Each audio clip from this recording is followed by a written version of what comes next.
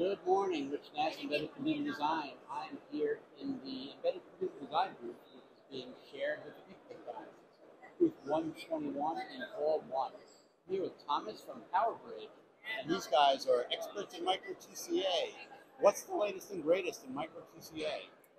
Thanks you asked me. Um, the latest uh, things is uh, we are working on the PICMG on an initiative on which is called MicroTCA Next Generation. That should give uh, customers who are looking for solutions for the next 10, 15 or even 20 years. That's a pretty long runway. 10, 15, it, it definitely is, but that's the life cycle of systems in embedded uh, industry.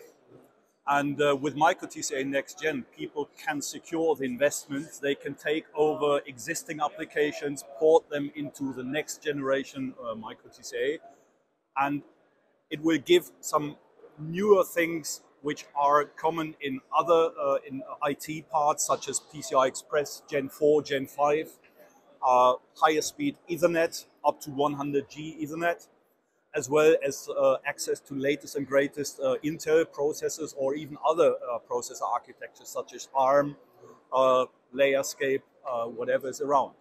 And it's all industry standard.